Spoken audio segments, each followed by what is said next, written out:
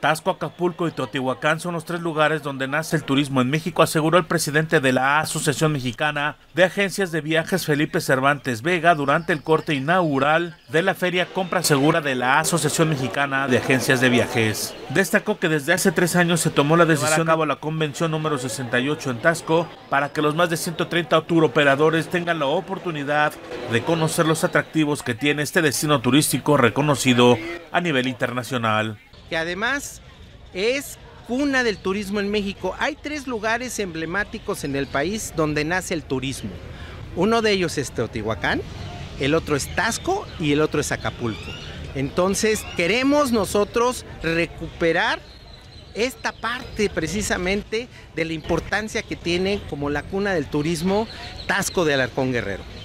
En la inauguración de la feria Compra Segura de la asociación participaron algunos de los representantes de las agencias que están en la convención, la primera que se realiza en el pueblo mágico. RTG Noticias, Raimundo Ruiz.